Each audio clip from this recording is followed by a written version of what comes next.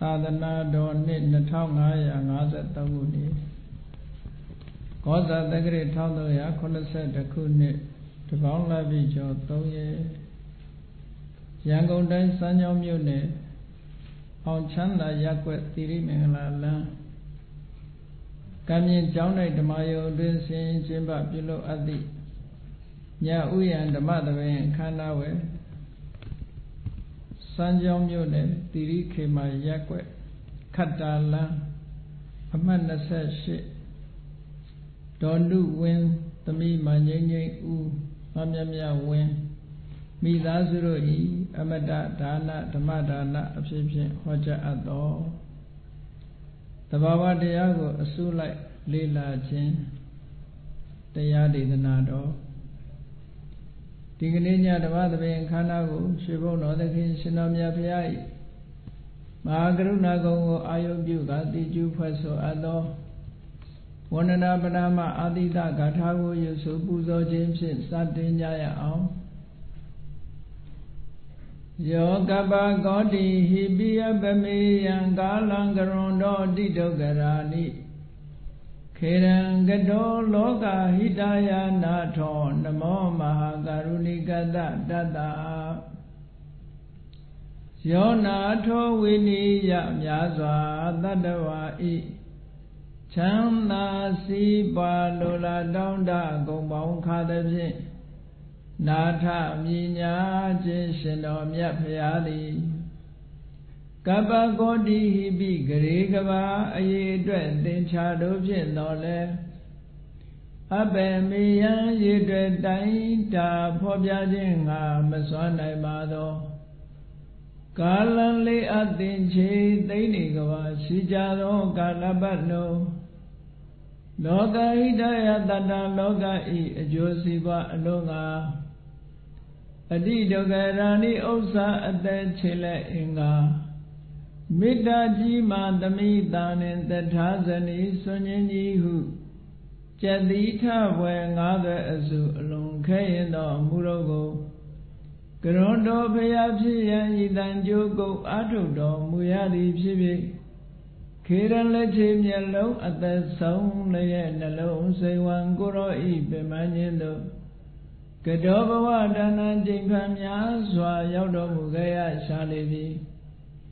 မဟာကရုဏီကသတ္တဝါများယင်ဝေသားကဲ့သို့တနာချစ်ခင်မဟာကရုဏာရှင်ဖြစ်တော်မူသောတတနာတသဝိရိယများစွာတတ္တဝါဤချမ်းသာစီးပွားလိုလားတောင်းတအကုန်ပေါင်းခါသဖြင့်နာထမြညာထိုးရှင်တော်မြတ်ဖရာအားနမောယုတိပြောင်းပြောင်းမံကိုလျော်၍ ကရောယောကျိုးရှိခိုးခြင်းသည်အထုဘဝတုစင်စစ်မတွေဖြစ်ပါစေတည်း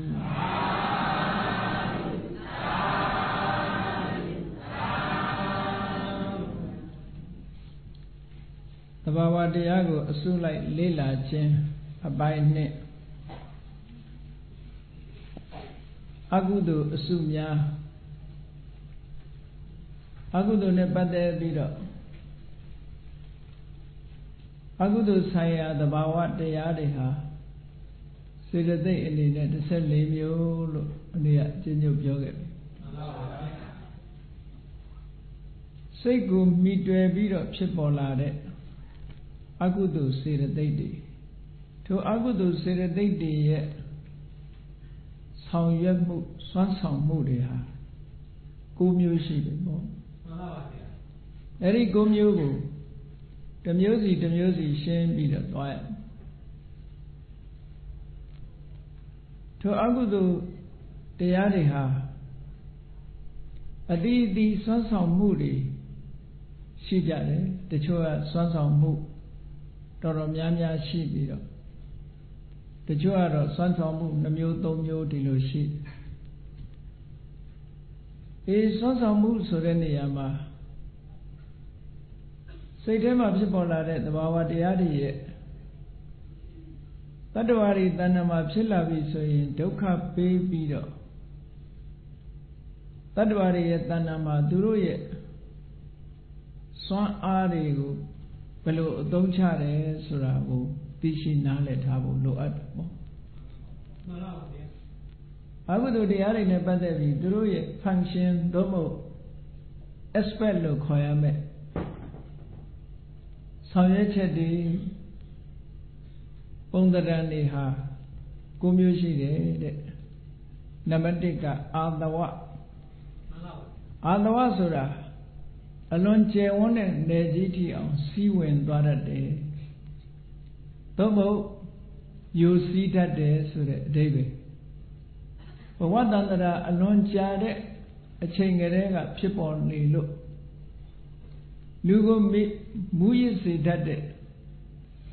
မူရစ်စေတတ်တဲ့အယက်သေးစာနဲ့လဲတူတယ်ဒါကြောင့်မို့အာသဝ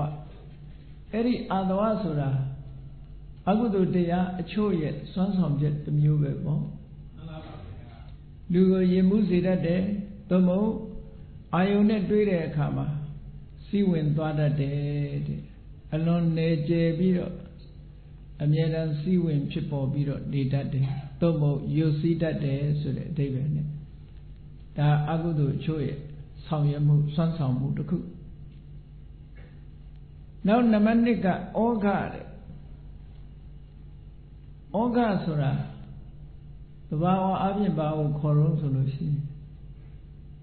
အမတန်ကြီးမားတဲ့ ရေအရင်ကြီးကိုဩဃလို့ခေါ်တယ်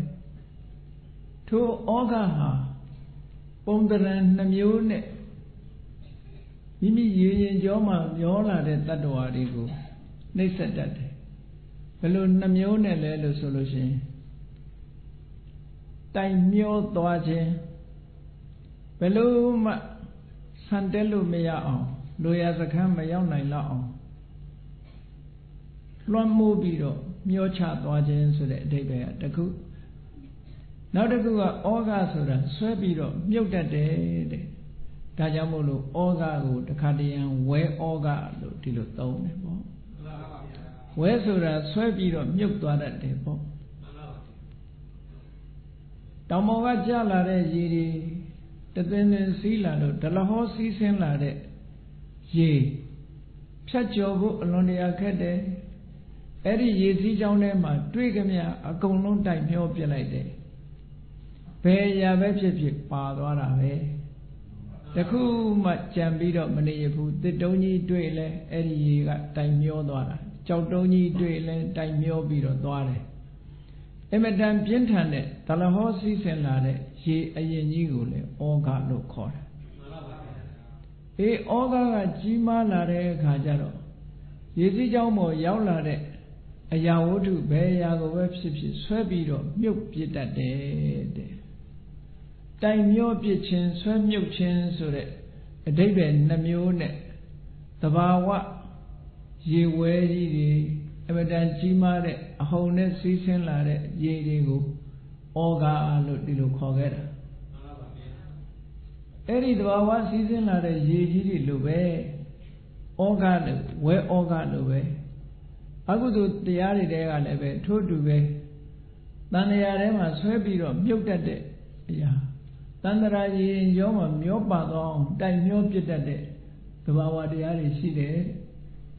အဲ့ဒါဟာအကုသိုလ်သဘာဝတရားတွေရဲ့တိုင်မျောပြစ်ခြင်းဆွဲမြုပ်ပြစ်ခြင်းဆိုတာအကုသိုလ်တရားအချို့ရဲ့ဆောင်ရွက်မှုစွမ်းဆောင်မှုတစ်ခုပဲပေါ့ နောက်တစ်ခုကယောဂတဲ့ယောဂဆိုတာတစ်ခုနဲ့တစ်ခုကိုချီနှောင်ပြီးတော့ထားတာကွဲကွာပြီးတော့မသွားအောင်တစ်ခုနဲ့တစ်ခုနဲ့ချီနှောင်ထားတယ်ဥပမာမယ်ဘဝတစ်ခုနဲ့ဘဝတစ်ခုကိုဆက်ဆက်ပြီးတော့ချီနှောင်ပေးထားတယ်ဒါကြောင့်မို့တတ္တဝါတွေဟာဘဝကနေပြီးတော့လွတ်ထွက်ပြီးတော့မသွားနိုင်ဘူးဒါတွေကခြီထားတာ ကျွမ်းနာတရိษံတွေကိုကျိုးနဲ့ခြီထားသလိုပဲလွတ်ထွက်သွားဖို့ရမရနိုင်ဘူးတဲ့။နောက်ကံတရားနဲ့ကံရဲ့အကျိုးတရားဒီနှစ်ခုကိုလည်းဆွဲပြီးခြီထားတာ။ကံတရားရှိရင်ကံရဲ့အကျိုးတရားနဲ့အမြဲတမ်းဆက်ဆက်သွားမှာပဲ။ခွဲခွာသွားလို့မရတော့အောင်ဆွဲပြီးတော့ခြီထားတာယောဂလို့ဒီလိုခေါ်ထားတယ်ပေါ့။နတန်လျာထဲမှာရှိနေကြတဲ့တတ္တဝါတွေကိုဆင်းရဲဒုက္ခနဲ့တွဲပြီးတော့ခြိထားတယ် ဘယ်ဘဝပဲရောက်ရောက်ဒုက္ခနဲ့ဟာတွဲရဲ့ခြိပဲဖြစ်နေတယ်အဲ့ဒါလို့ဒုက္ခနဲ့အမြဲတွဲမိနေအောင်ခြိနှောင်ပေးတတ်တဲ့စွမ်းဆောင်ချက်ဟာအကုသိုလ်တရားအချို့ရဲ့စွမ်းဆောင်ချက်တွေပဲတဲ့ဘုန်းကြီးတို့တွေဒုက္ခကလွတ်ချင်တယ်ဘဝတန်တရားကလွတ်ချင်တယ်ဆိုရင်အဲ့ဒီခြိနှောင်ထားတဲ့သဘာဝတရားတွေကိုဖယ်ရှားပြဖို့လိုတယ်အကယ်၍အဲ့ဒါတွေကိုမဖယ်ရှားနိုင်ဘူးဆိုလို့ရှိရင် ဒုက္ခနဲ့ဘယ်တော့မှအိုးစားကွဲမှလည်းမဟုတ်ဘူးဘဝနဲ့လည်းဘယ်တော့မှအိုးစားကွဲမှလည်းမဟုတ်ဘူးတဲ့တဘဝပြီးတဘဝဘဝစင်စစ်မပြည့်ဘဝပေါင်းမြောက်များစွာတန်တရားထဲမှာလက်ပတ်ပြီးတော့နေမှာဘဝနဲ့ဘုန်းကြီးတို့တွေဟာဘယ်တော့မှခွဲခွာသွားလို့ရမှာမဟုတ်ဘူးတဲ့သူကချီနှောင်ထားတာတဲ့အဲ့ဒီလိုချီနှောင်ထားမှုဟာလည်းပဲစွမ်းဆောင်ချက်တစ်ခုပဲ အဲ့ဒါကိုမြတ်စွာဘုရားကယောဂလို့ဒီလိုဟောတာနောက်တစ်ခုကခန္ဓာဆိုတာအကုသိုလ်ချို့ရဲ့စွမ်းဆောင်မှုတစ်ခုကခန္ဓာယုံနဲ့နံနှစ်ခုခွဲလို့မရတော့အောင်ယုံနဲ့နံနှစ်ခုခြီထားတယ်ဒါကြတော့အထုံးအဖွဲဆိုတဲ့သဘောမျိုး ကျိုးကိုသေးသေးချာချာထုံးဖွဲ့ထားလို့ရှင်အဲ့ဒီထုံးဖွဲ့ထားတဲ့ကျိုးဟာအဖြေရခက်တယ်ပေါ့ဘယ်အစထားမှန်းကိုမသိအောင်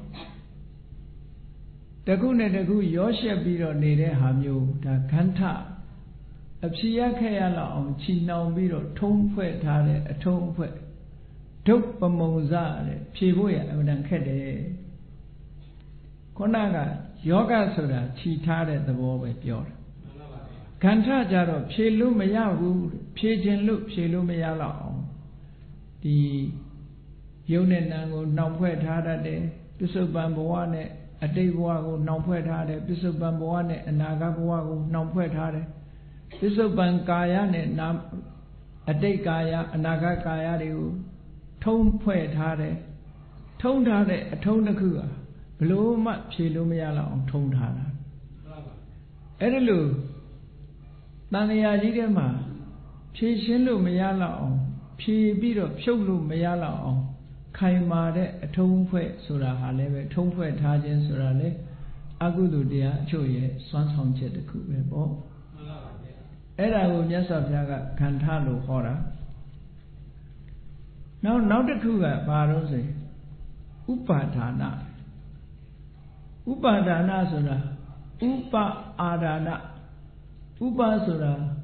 ခိုင်ခိုင်မြဲမြဲအာဒါနဆွဲဆုပ်ထားတာခိုင်ခိုင်မြဲမြဲကြီးဆွဲဆုပ်ထားတတ်တဲ့သဘောဟာလေအကုသိုလ်တရားတွေမှာရှိတယ်တဲ့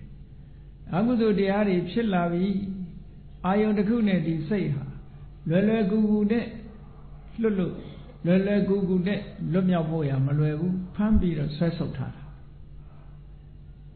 ကျမ်းဂန်စာပေမှာဗာနဲ့ဥပမာပေးတုံဆိုလို့ရှိရင်နော် ဖားကိုမွေငန်းမြဲစွာဖမ်းလို့ဆိုတာ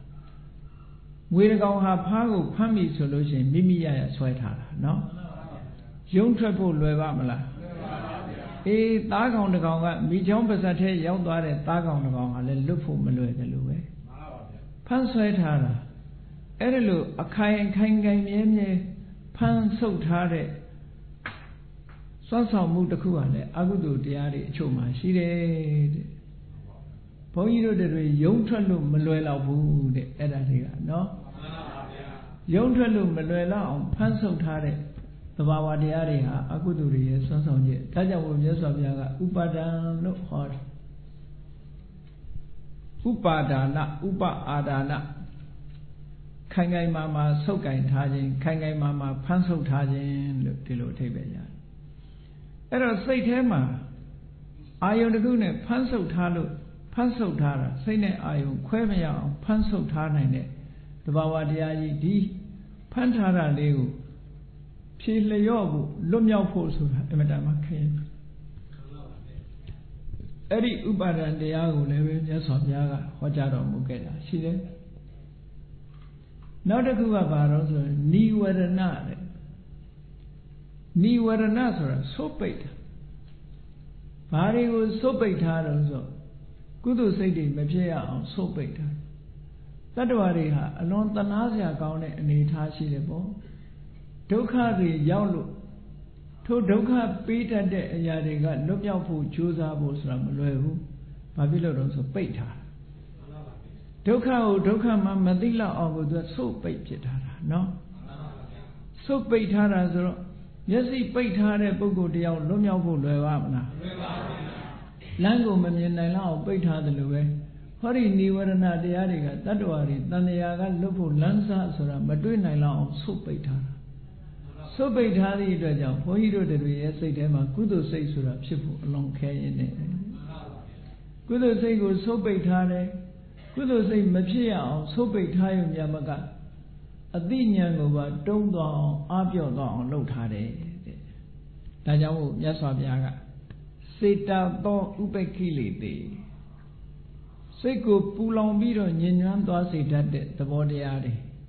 ပညာယဒုပ္ပလီကရဏီအသိပညာတွေအားပြော့သွားအောင်သို့မဟုတ်အားမရှိတော့အောင်လုပ်ပြတတ်တဲ့သဘာဝတရားတွေကိုនិဝရဏလို့ခေါ်တာတဲ့ဟောဒီတရားတွေကလည်းပဲအခုလိုသုတ်ပိတ်ခြင်း ပညာတွေအားပြော့သွားအောင်လှုပ်ခြင်းဆိုတဲ့ဆောင်ရွက်မှုစွမ်းဆောင်မှုကလည်းအကုသိုလ်တဘာဝတရားတွေအချို့မှာဒါတွေပါရှိနေတယ်ပေါ့ဒီလိုသုတ်ပိတ်ထားသည့်အတွက်ကြောင့်ဘုန်းကြီးတို့တန်မြာဝကလွတ်ရလွတ်ကြောင်းဆိုတာရှာမတွေ့နိုင်ကြဘူးကုသိုလ်စိတ်ဖြစ်ဖို့ဆိုတာလည်းအမတန်ခွင့်ရေးနေသွားတယ်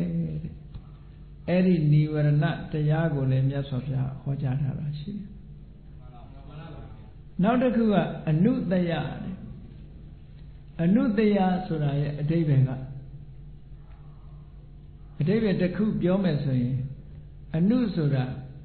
ထက်ချက်မကွာလိုက်ပါပြီးတော့တယကိန်းနေတာဘယ်တော့မှမပြန်မကြံရဘူးအမြဲတမ်းပါရှိနေတယ်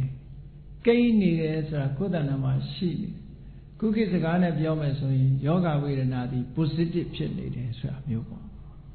positive ဖြစ်နေတယ်ဘု န်းကြီးတို့တွေရဲ့တဏ္ဍာမှာတခါတရံဒေါသဆိုတာမဖြစ်ဘူးတခါတရံလောဘဆိုတာလည်းမဖြစ်ဘူးအိတ်တာဆိုတာလည်းတခါတခါမဖြစ်ဘူးမစ္စရိယဆိုတာလည်းမဖြစ်ဘူးဆိုမဖြစ်တာဟာအကြောင်းမတိုက်ဆိုင်သေးလို့မဖြစ်တာသို့တော်ဖြစ်နိုင်တဲ့အနေအထားသည်အမြဲတမ်းရှိနေတယ် positive ဖြစ်နေတယ်လို့ပြောတာလောဘကလည်း positive ပဲဒေါသကလည်း positive ပဲမာမာနတွေအိတ်တာတွေမစ္စရိယတွေကလည်း positive ပဲ ဘာဆန်းလိုက်ဆန်းလိုက် positive နဲ့ပဲတွေ့နေမယ်ပေါ့ဒါကြောင့်မို့အနုတယဆိုတာထက်ချက်မကွာလိုက်ပါပြီးတော့တန်တရားထဲမှာဘဝအစင်မှာကိန်းနေတဲ့သဘောတရားနောက်တစ်ခုအဓိပ္ပာယ်ပြောရမယ်ဆိုရင်အနုရူပံကာရဏံလဘိတဝအဲ့ဒီကိန်းနေတဲ့သဘောတရားသည်တဲ့သင်လျော်တဲ့အကူအညီအကြောင်းတစ်ခုရလိုက်တာနဲ့ထဖြစ်လာမယ်။ဘာနဲ့ဥပမာတူတုံးဆိုလို့ရှိရင် gas နဲ့အလားတရံတူတယ်လို့ပြောကြပါစို့ gas ဆိုတဲ့နားမှာမီးကလေးထချစ်လိုက်မယ်ဆိုရင်ထမလောင်မေဘူးလားမှန်ပါဗျာအေးလောင်မှုအနေထားဟာအစဉ်အစဉ်သင်းဖြစ်နေတယ်လောင်စေတတ်တဲ့အကြောင်းကလေးတစ်ခုရတာနဲ့တပြိုင်တည်းဝုန်းကနေထတောင်မှာလို့ပြောတာရေမှာတော့အဲ့ဒီလိုသဘောမျိုးမရှိဘူးရေနားလေးရေပြင်ကြီးနားမှာသွားပြီးတော့မိချစ်ချစ်တာနဲ့မိလောင်မမလား ဩရေမှာတော့မိမလောင်နိုင်ဘူးသို့တော့ရေနံတို့ gas တို့နားမှာသွားပြီးတော့မိမိချစ်လိုက်နဲ့ဝုန်းကနေဆိုထားလာမှာဘာဖြစ်လို့တုံးဆိုတော့အနုရူပံကာရဏံလဘိတဝဥပ္ပစ္စတိအနုတရားဆိုတာအင်းအားကရှိနေပြီ potentiality potential ဖြစ်နိုင်တဲ့အနေအထားကြီးကကြီးထွားနေတယ်ဒါကြောင့်မို့ဒီ အနုတရားဆိုတဲ့သဘောကိုဌာမကတကိလေသာတဲ့စွမ်းအားပြည့်နေတဲ့ကိလေသာလို့ဒီလိုပြောတာတာမန်ကိလေသာမဟုတ်ဘူးစွမ်းအားပြည့်နေတဲ့ကိလေသာတရားတွေဟာအကြောင်းတစ်ခုနဲ့မဆုံလိုက်နဲ့ဆုံလိုက်တာနဲ့ဝုန်းဆိုထားပေါက်တာအဲ့ဒီအနေထားမျိုးထိအောင်ဖြစ်နေတဲ့သဘာဝတရားတွေဟာဒါအနုတရာတဲ့စင်ဆက်မကွာဘုန်းကြီးတို့တဏ္ဍာမှာပါနေတယ်ပါနေသည့်အတွက်ကြောင့်ဆံရအကြောင်းတရား ဖြစ်လာတာနဲ့တပြိုင်နက်ထပြီးတော့ပေါ်ပေါက်လာနိုင်တယ်အနုတရာကနေဘာဖြစ်လာတယ်ပရိယုဌာနာလွှမ်းမိုးလာတယ်စိတ်အစဉ်ပေါ်မှာလွှမ်းမိုးလာလွှမ်းမိုးလာတဲ့အခါမှာလူဟာကာယကံမြောက်ဝစီကံမြောက်မနောကံမြောက်ဆိုတာလို့လုံးမိသွားတယ်ဝိတိတ်ကမအဲ့ဒါလို့အနုတ္တယအနေထားကနေပြီးတော့ပရိယုဌာဏထားကြွဖြစ်ပေါ်လာတယ်ထားကြွဖြစ်ပေါ်လာပြီးတော့ဟိုလွန်ကျူးသွားတယ် ဥပမာမယ် gas မီးချစ်ကလေးကသူ့ဘာသူနေလို့ရှိရင်မီးမတောက်ဘူးသို့တော့အကြောင်းတစ်ခုနဲ့ပေါင်းလိုက်တဲ့အခါကျမီးကလေးတောက်လာအဲ့ဒီမီးကလေးတောက်လာတာဟာပရိယုဌာဏဖြစ်တာပဲလောင်စာနဲ့တွေ့လို့ရှောက်ပြီးတော့လောင်တော့တာဟာဝိတိတ်ကမပဲပေါ့ဘုန်းကြီးတို့တွေရဲ့တဏ္ဍမှာရှိတဲ့ကိလေသာတွေလည်းဒီသဘောပဲသူ့ဘာသူငြိမ့်နေပေမဲ့လို့ မရှိဘူးလို့ပြောတာမဟုတ်ဘူးအင်အားကောင်းနေသည့်အတွက်ကြောင့်အကြောင်းဆုံးလာတာနဲ့တပြိုင်နက်ထပြီးပေါက်ပွဲတော့တာပဲပေါ့အေးအဲ့ဒါလို့အနုတ္တယစင်ဆက်မကွာမိမိတို့တဏ္ဍာမှာကိန်းနေတဲ့သဘာဝတရားကိန်းနေမှုဟာလည်းပဲဒီအကုသိုလ်တရားတွေရဲ့သဘောလက္ခဏာတစ်ခုပဲနောက်တစ်ခုအင်အားကောင်းနေသည့်အတွက်ကြောင့် ဆံရအကြောင်းကလေးရလိုက်တာနဲ့တပြိုင်တည်းဝုန်းကနေထားဖြစ်လာတဲ့သဘောတရားဟာလည်းသူတို့ရဲ့စွမ်းဆောင်မှုတစ်ခုပဲပေါ့အေးနောက်တစ်ခုကမြတ်စွာဘုရားကတန်ယောဇနာတဲ့တန်ဆိုတာပြင်းပြင်းထန်ထန်ယောဇနာချီနှောင်ထားခြင်းယောဂဆိုတာတစ်ခုနဲ့တစ်ခုကွာမသွားအောင်တွဲတဲ့သဘောပဲတန်ယောဇနာကြတော့ တင်းတင်းကြပ်ကြပ်ချီနှောင်ထားတဲ့သဘောကိုပြောပြတာနော်တင်းတင်းကြပ်ကြပ်ချီထားတယ်ချီထားတယ်ဆိုတာထွက်သွားလို့မရဘူးပေါ့ခုနကတွဲသွားတာတစ်ခုနဲ့တစ်ခုမကွဲရုံပဲဟုတ်ကလားယောဂကတစ်ခုနဲ့တစ်ခုကွဲမသွားအောင်တွဲထားတယ်ဥပမာပဲပစ္စည်းကလေးတစ်ခုလိုပါတော့တစ်ခုနဲ့တစ်ခုကွဲတွဲမသွားအောင်တွဲထားရတယ်လို့ပဲအေးအိန္ဒိယနိုင်ငံတို့ဘာလို့သွားတဲ့အခါကျတော့ဒီ မြေထားစီးတာတို့ဘာတို့အမတတတိထားရတယ်ညအိပ်ပျော်နေရင်အထုပ်ကပျောက်သွားတတ်တယ်အဲ့ဒါကြောင့်လို့မပျောက်အောင်တချို့ကအထုပ်နဲ့လူနဲ့တွဲချီထားဟုတ်လားအဲ့ဒါလို့တွဲချီထားတာကတော့ယောဂ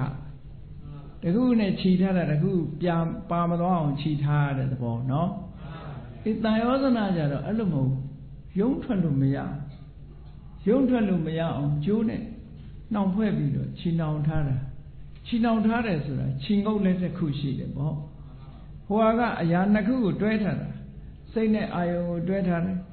တန်ရောစဉ်ကြတော့ရုံးထွက်လို့မရအောင်ခြီနှောင်ထားတဲ့သဘောတဲ့အေးချီနှောင်ထားတယ်ဆိုတာလည်းပဲဒီ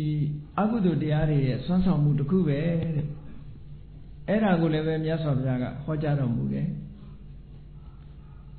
နောက်တစ်ခုအကုသိုလ်တရားတွေရဲ့ဆွမ်းဆောင်မှုတစ်ခုကဘာလဲလို့ဆိုရင်ကိလေသာကိလေသာရဲ့အဓိပ္ပာယ်ကညှဉ်းနှွမ်းခြင်းနှိပ်စက်ခြင်းဆိုတဲ့အဓိပ္ပာယ်ပဲဒီတရားတွေဖြစ်နေရင်ဖြူစင်းနေတဲ့စိတ်ကလေးဟာညှဉ်းနှွမ်းသွားရတယ်ညစ်ပေသွားရတယ်ညစ်ပေသွားရုံမကဘူးစိတ်ကလေးဟာအနာတရားဖြစ်ပြီးတော့သွားတယ်ဟောကိလေသာရဲ့စွမ်းဆောင်မှုပဲเนาะ ကိလေသာဆိုတာစိတ်ကိုညှဉ်းနှွမ်းစေခြင်းစိတ်ကိုနှိပ်စက်ခြင်းဆိုတဲ့အတိပ္ပယ်နှမျိုးအဲ့တော့ကိလေသာတွေစိတ်ကိုညှဉ်းနှွမ်းသွားအောင်လုပ်ခြင်းစိတ်ကိုနှိပ်စက်ခြင်းဆိုတဲ့စွမ်းဆောင်မှုနှစ်ခုဟာလည်းပဲအချို့သောအကုသိုလ်တွေရဲ့အကုသိုလ်စေတသိက်တွေရဲ့စွမ်းဆောင်မှုတွေပဲလို့ပေါင်းလိုက်တဲ့အခါကျတော့အကုသိုလ်အုပ်စု14ခုသောစိတ်ထဲမှာဖြစ်ပေါ်လာတဲ့သဘာဝတရားတွေဟာ တတ္တဝါတွေရဲ့တဏ္ဍာမှာပေါ်လာပြီးတော့တတ္တဝါတွေပေါ်မှာအမျိုးမျိုးဖုံဖုံဟောဒီ၉မျိုးနဲ့သူတို့ရဲ့စွမ်းဆောင်မှုတွေနဲ့ဒုက္ခပေးနေတာတဲ့အဲ့ဒါလို့ဒုက္ခပေးနေတာကိုဒုက္ခပေးမှန်းတောင်မသိလောက်အောင်သူတို့ကတိမ်မွေ့တယ်ဟုတ်ကဲ့လားဒုက္ခပေးမှန်းကိုမသိဘူးဒုက္ခပေးနေတယ်ထင်နေတာလူတွေကအဲ့ဒါကြောင့်မို့လို့ဒီတရားတွေရဲ့ ဒီစောင့်ဆောင်မှုဟာအလွန်တိမ်မွေ့နူးညံ့လို့တခါတည်းရန်ကြတော့သူကမာရပါပလို့ဒီလိုဟောတယ်မမင်းကြီးရဲ့နှောင်ကွင်းတဲ့တခြားနှောင်ကြိုးတွေကြော့ခွင်းတွေဆိုတာဟာမြင်ရတယ်လွတ်အောင်ရှောင်လို့ရတယ်အဲ့ဒီကြော့ခွင်းနဲ့အခြေခံရလို့ရှိရင်ဟုတ်လားအရေးတွေအသားတွေစုပ်ပြတ်ပြီးတော့အမတန်မှနာကျင်စေတယ်အခုမာရပါဒလို့ဆိုတဲ့ ဒီအကုသိုလ်တရားတွေရဲ့နှောင်ကြော့နှောင်ကွင်းနဲ့အစွတ်မိတဲ့ပုဂ္ဂိုလ်ကြတော့စွတ်ထမ်းမှန်းတောင်မသိဘူးသူကသို့တော့ယုံလို့တော့ရလာလို့ဆိုမရဘူးဒီနာပဲတဝဲလဲလဲလဲနေမှာပဲတန်တရားတွေကထွက်ဖို့ရမလွယ်ဘူးတန်တရားတွေကလည်းမထွက်နိုင်ဘူးဒီအခြေအနေကြီးကိုကြော်ဖြတ်ဖို့ရကြော်လွှားသွားဖို့ကိုမဖြစ်နိုင်လောက်အောင်သူကသိမ်မွေးနှူးညံ့တယ်လို့ဒီလိုပြောတာနော်အဲ့ဒါလို့ နတ်တွေဟာအချင်းချင်းဆိုပါစို့အချင်းချင်းနှောက်ဖွဲကြတယ်နှောက်ဖွဲတယ်ဆိုတဲ့နေရာမှာစိတ်နဲ့စကားနဲ့ပဲသူတို့နှောက်ဖွဲတာလူတွေကြတော့နှောက်ဖွဲရင်ဖမ်းပြီးတော့ကျိုးနဲ့တုတ်တာကျိုးနဲ့တုတ်ထားတော့သိတာတယ်ပေါ့နော်ကျိုးနဲ့တုတ်ရင်ကျိုးဖြတ်ပြီးတော့ယုံလို့လည်းရတာပဲအေးနတ်တွေရဲ့အနှောင်ဖွဲ့ကြတော့အဲ့ဒါလိုမဟုတ်ဘူးတဲ့ တခါတည်းတာဝရိန္ဒနတ်ပြည်မှာမူလနတ်တွေကအအတုရာလို့ခေါ်တယ်မူလနတ်တွေမူလနတ်ဆိုတာတရားမင်းကြီးမရောက်ခင်ကနေပြီးတော့အရင်ရှိနေတဲ့နတ်ဟောင်းဒါတွေကဘာနဲ့ဆင်တုံးလို့ဆိုလို့ရှိရင်အခုတချို့ကျွန်းနိုင်ငံတွေမှာ aborigine ဆိုတဲ့ကျွန်းနေလူမျိုးတွေကရှိတယ်လေခု မှာဩစတြေးလျတို့ဘာလို့ဆိုကျွန်းနေလူမျိုးတွေရှိတယ်ငကိုကျွန်းနေလူမျိုးတွေသို့တော့နောက်ထပ်တက်လာတဲ့လူတွေကကြီးပွားပြီးတော့တိုင်းပြည်ကိုအုပ်ဆိုးသွားတာအဲ့ဒီကျွန်းနေလူမျိုးတွေကတောထဲမှာပဲဒီလိုကျန်းနေတာပေါ့အမေရိကနိုင်ငံကြီးမှာလည်းကြည့်ပဲဆိုလို့ရှိရင် Red Indian တွေကမူလလူမျိုးတွေပဲအဲ့ဒီ Red Indian တွေနောက်ထပ်ဥရောပတို့အနိုင်နိုင်ငံကရောက်လာတဲ့ပုံကိုယ်တွေကနေပြီးတော့ကြီးပွားလာတဲ့အခါ သူတို့ကအဘော်ရီဂျီနီကျွန်းနေလူမျိုးဆိုကြီးပွားတိုးတက်မှုအားနည်းတဲ့ပုံကိုယ်မျိုးတွေဖြစ်ကြံရတဲ့နော်ဒီနားမှာသေရီလင်္ကာနိုင်ငံတို့ခေါ်တဲ့မြန်မာနိုင်ငံနဲ့ကြည့်မယ်ဆိုရင်နေဝင်နေထွက်တနာရီလောက်နောက်ကြတယ်ပေါ့ဗမာပြည်ကတနာရီစောတယ်သေရီလင်္ကာနိုင်ငံတနာရီနောက်ကြတယ်အဲ့ဒီသေရီလင်္ကာနိုင်ငံမှာလည်းပဲ aborigine ဆိုတဲ့မူလကျွန်းနေလူမျိုးတွေရှိတာပဲ သူတို့ခေါ်နေတော့ဝဲဒလို့ခေါ်တယ်ခဏိတိပစိုးမို့သေးဘူးသူတို့ဟာတောထဲမှာနေကြတယ်စီမံကိန်းချပြီးတော့အိမ်ဆောက်ရင်လည်းအိမ်မီးရှို့ပြီးတော့ထွက်ပြေးသွားတယ်အဝတ်စားပေးလို့လည်းမဝတ်ဘူးသူတို့ရဲ့ထုံတန်းစင်လာတိုင်းတောထဲမှာနေပြီးရင်သူကဓာခုတ်တို့လှန်တိုးတို့လေးပြစ်တို့ဒါတွေသင်ပြီးတော့တောရိုင်းတိရစ္ဆာန်တွေဖန်တပ်ဖြတ်စားတော့အဲ့ဒီဘဝကိုနှစ်ချိုင်နေကြတာမူလလူမျိုးလို့ခေါ်တယ်ပေါ့နော် မူလကျွန်းနေလူမျိုးတွေအဲ့ဒီမူလကျွန်းနေလူမျိုးတွေဒီလိုကျွန်းနေလူမျိုးတွေရှိနေသလိုပဲတဘာဝတရားတွေမှာလည်းပဲထို့တူပဲမူလသဘာဝတရားတွေကိုလွှမ်းမိုးကြီးစိုးထားတဲ့အရာတွေကရှိနေသေးတယ်တဲ့နော်မှန်ပါပါဗျာအေးကောင်းပြီအကုသိုလ်အုပ်စုတွေထဲမှာအခုပြောခဲ့တဲ့အာတဝါတို့ဩဃာတို့ယောဂါတို့ ခန္ဓာတို့နိဥပါဒာနာတို့နိဝရဏတို့အနုတယတို့နော်တန်ယောဇနာတို့နောက်ကိလေသာတို့ဟောဒီတဘာဝတရားတွေဟာလွှမ်းမိုးကြီးဆိုးလာတဲ့စိတ်ထဲမှာနော်လွှမ်းမိုးကြီးဆိုးလာတော့ဘုန်းကြီးတို့တွေကတန်တရားဝတ်ကနေပြီးတော့ယုံထွက်ဖို့ဆိုတာမဖြစ်နိုင်တော့ခက်ခဲလာကြတယ်ပေါ့ဒါတွေကိုမသိလို့ ဒီသဘာဝတရားတွေဟာတို့ကိုနှိမ့်ဆက်နေပါလားဆိုတာမသိတာလည်းပဲပါတယ်သိပြန်တော့လည်းယုံထွက်နိုင်စွမ်းမရှိဘူးတဲ့ယုံထွက်နိုင်လောက်အောင်အင်အားမရှိကြဘူးသဘာဝတရားနဲ့ပတ်သက်ပြီးတော့ဒီပေခြင်းတရားနဲ့ပတ်သက်ပြီးတော့ပြောတဲ့ဂါထာလေးတစ်ခုရဲ့အဓိပ္ပာယ်လိုပဲမိဘုံကြီးဟာ အရက်လေးမျက်နှာကလောင်ပြီးတော့လာမယ်ဆိုလို့ရှိရင်တဲ့အဲ့ဒီမိဘုံကြီးကိုလွတ်အောင်ကြော်လွှားပြေးဖို့လည်းအင်အားမရှိဘူးတဲ့ပြန်လီတွန်းလှန်ဖို့လည်းပဲအင်အားမရှိဘူးတတ္တဝါတွေဟာအဲ့ဒီအခြေအနေဖြစ်ဒီတဘာဝတရားတွေကိုတွန်းလှန်ဖို့ဆိုတာလည်းအင်အားမရှိကြဘူးတဲ့အင်အားမရှိသည့်အတွက်ကြောင့်ကိုလူယုံပြေးမယ်ဆိုလို့ရှိရင်လည်းလွတ်နိုင်စွာမရှိဘူးပေါ့ အေးဒါကြောင့်မို့လို့ဟောဟောဒီအကုသိုလ်တရားတွေရဲ့စွမ်းဆောင်မှုတွေဟာအလွန်တရာမှပြင်းထန်တယ်စွမ်းအားထက်မြက်တယ်စွမ်းအားထက်မြက်လို့တတ္တဝါတွေဟာတန်တရားထဲမှာနေမုန်းပြီးတော့နေကြတယ်မြတ်စွာဘုရားပွင့်လို့လမ်းကိုညွှန်ပြပြီးထိုသဘာဝတရားတွေရဲ့ဆိုးဝါးမှုတတ္တဝါတွေဟာပညာဉာဏ်နဲ့ရှားပွေလို့တတိတွေဝီရိယတွေတမာရီစွမ်းအားတွေနဲ့ မဂ္ဂင်၈ပါးအကျင့်တရားနဲ့မိမိတို့တဏ္ဍာမှာစွမ်းအားတွေကိုထူထောင်ပြီးတဲ့အခါမှာဒီတရားတွေကိုတွန်းလှန်တိုက်ဖြတ်လို့ရတယ်အဲ့ဒါလို့မဟုတ်လို့ရှိရင်ဘုန်းကြီးတို့တွေမှာရှိတဲ့သမ္မာဒိဋ္ဌိသမ္မာသင်္ကပ္ပသမ္မာဝါယမသမ္မာတတိသမ္မာသမာဓိဆိုတဲ့ဒီမဂ္ဂင်အလုံးလုံးတဲ့မဂ္ဂင်၅မျိုးအခြေခံရမယ့်သမ္မာဝါစာသမ္မာကမ္မန္တသမ္မာအာဇီဝဆိုတဲ့သီလမဂ္ဂင်၃မျိုး အဲ့ဒီတရားတွေကစွမ်းအားမပြည့်ဘူးစွမ်းအားနည်းနေလို့ရှိရင်အခုပြောတဲ့ကိလေသာတွေအခုပြောတဲ့အကုသိုလ်တရားတွေစွမ်းဆောင်မှုပေးနေတဲ့အကုသိုလ်တရားတွေကိုတွန်းလှန်နိုင်မှာမဟုတ်ဘူးတဲ့ဖြိုဖျက်နိုင်မှာမဟုတ်ဘူးလက်မြောက်ပြီးတော့အရှုံးပေးနေကြရမှာဖြစ်တယ်ပေါ့အေးလက်မြောက်အရှုံးမပေးခြင်းလို့အနိုင်တိုက်ခြင်းပြီဆိုလို့ရှိရင်ဘာလို့ရမလဲဆိုရင်စွမ်းအားခြင်းပြိုင်ဖို့ပဲလိုတယ် ဒီကိလေသာစွမ်းအားတွေကိုယောပါသွားပြီးတော့ထိုကိလေသာတွေကိုအနိုင်တိုက်နိုင်တဲ့သမာဓိဋ္ဌိသမာသင်္ကပ္ပသမာဝါယမသမာတတိသမာသမာဓိဆိုတဲ့စွမ်းအားတွေကိုယ်တဏ္ဍမှာတစတစထူထောင်လာပြီးအင်အားကောင်းတဲ့အဆင့်ရောက်လာပြီဆိုရင်တွန်းလှန်တိုက်ဖြတ်လို့ရသွားပြီပေါ့အဲ့ဒါတခုတည်းသောနီလန်းပဲမြတ်စွာဘုရားကတန်ရုပ်ပါဠိတော်မှာဩဃဝက်ဆိုပြီးတော့ဟောထားတာရှိတယ် ဩဃဝက်ဆိုတာအခုပြောရတဲ့ဩဃ၄ပါးတို့ယောဂ၄ပါးတို့ဒီအကုသိုလ်အုပ်စုတွေရဲ့လွှမ်းမိုးကြီးစိုးထားမှုကိုပြန်ပြီးတော်လှန်ဖို့ရအတွက်တွန်းလှန်ဖို့ရအတွက်တခုတည်းသောနိလန်းဟာမဂ္ဂင်၈ပါးပဲအဲ့ဒီမဂ္ဂင်၈ပါးသဘာဝတရားကိုမိမိတဏ္ဍာမှာထူထောင်ရမယ်တဲ့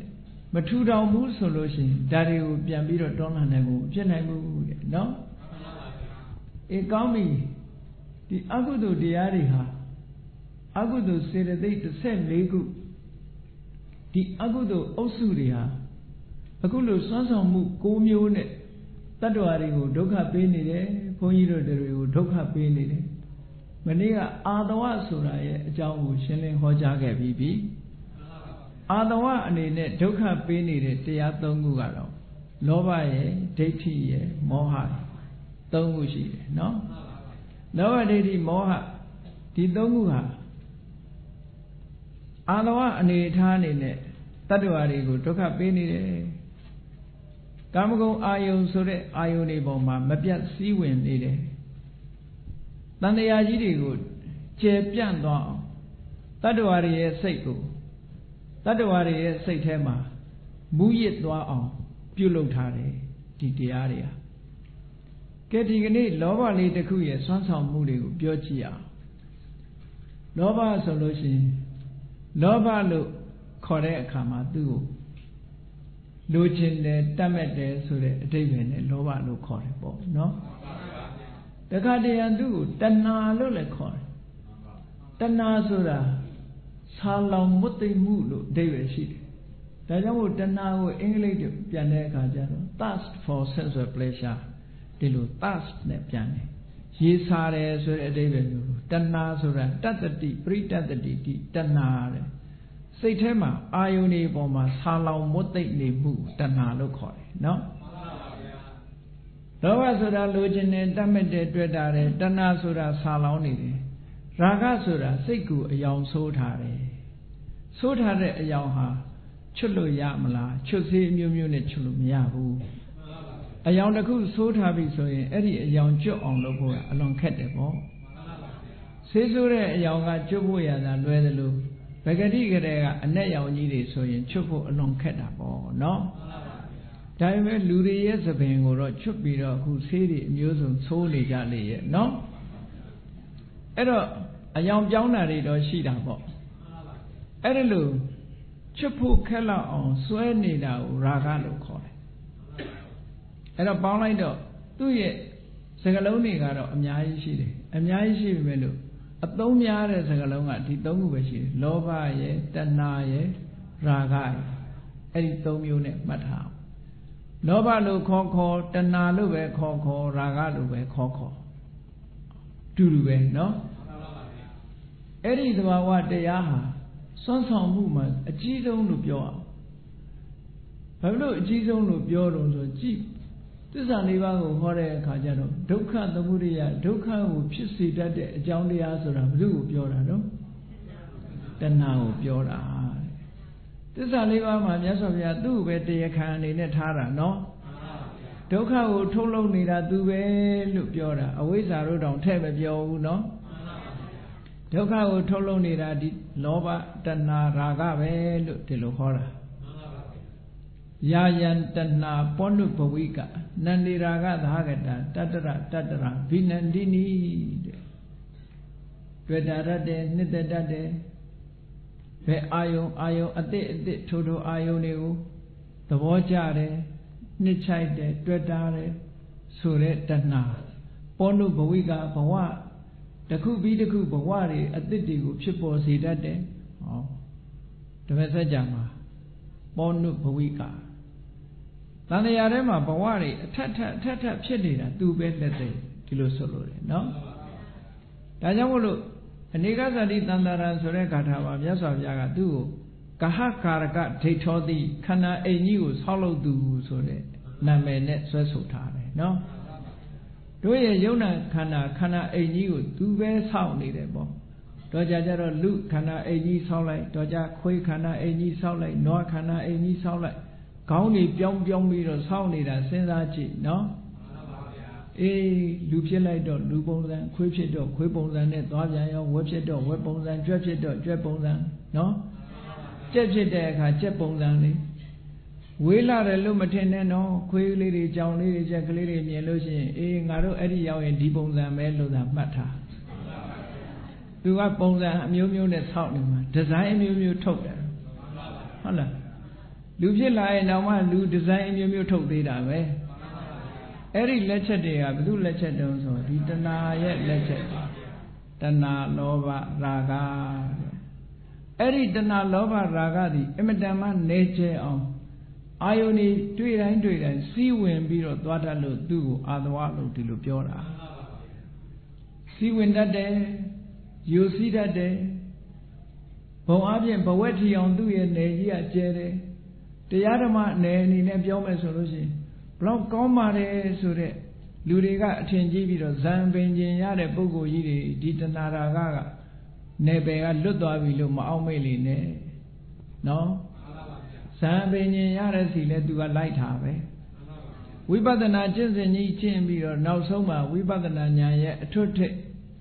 သင်္ကာရုပ္ပခဉာဏ်ရောက်ပြီးတော့ဂုတ္တရပူဆိုတဲ့ထီအောင်သူ့ရဲ့နေကြီးကအကျယ်ကြီး အဲ့ဒီထီအောင်သူကလိုက်နေသေးတာ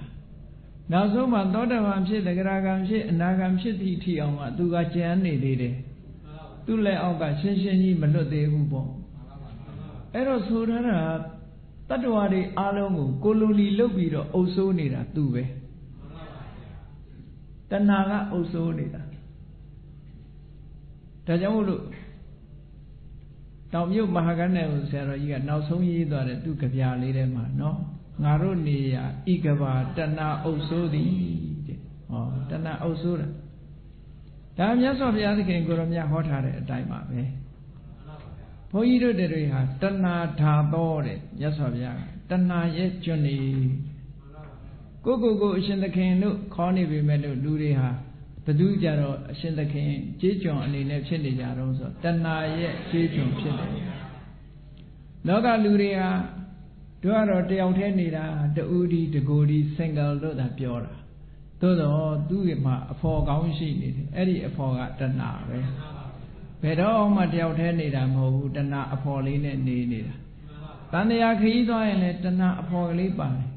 ဒါကြောင့်မို့တဏှာဒုတိယောပုရိသောဒီကမဋ္ဌာနာတန်တရံနဲ့ တန်တရားခရီးကြီးအရှိကြီးလျှောက်လန်းသွားတဲ့အခါမှာအဖော်မပါဘူးအဖော်မမိတကိုဒီလို့ပြောနေမယ်ဖော်ပါတယ်ပါလဲတဏှာဒါကြောင့်မို့တဏှာဆိုတဲ့အဖော်လေးတဲ့တယောက်တည်းအိတ်လေညခေါင်းလေးခြုံပြီးတော့စိတ်ကူးရင်အိတ်နေလို့ရှင်တဏှာနဲ့အိတ်နေတာပဲဟုတ်ကဲ့လား